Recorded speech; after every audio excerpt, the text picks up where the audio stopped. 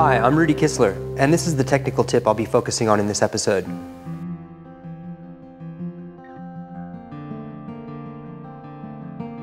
Now I've got interest in the foreground with the study of the leaves, and I've got interest in the background with the imaginary landscape. But in between the two, there's, there's really nothing to catch the eye, and I don't want any kind of detail, but I might just have a bit of light flooding through the landscape.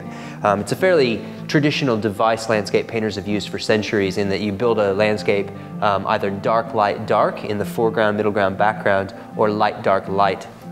And in this case, I think I might go dark, light, dark. So I've got kind of a darkish foreground, and a darkish background, and then I'll just have a beam of light shooting through the middle and just help to break that space.